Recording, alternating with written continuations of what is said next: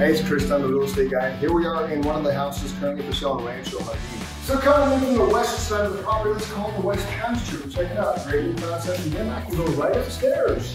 Nice little loft area. That way is a big balcony, bedroom number one. There's a nice little walk-in closet adjacent to the hall bathroom right behind you. Bedroom number two, we have a door that leads out to the balcony, and we have a nice little sitting area over here with a couple little pockets of storage. As you can see, the kitchen's been completely updated. All brand new appliances, all new flooring as well. This place is move-in ready. If you want to find out more information about this listing, give me a call today at 602-321-6188. Until next time, see ya!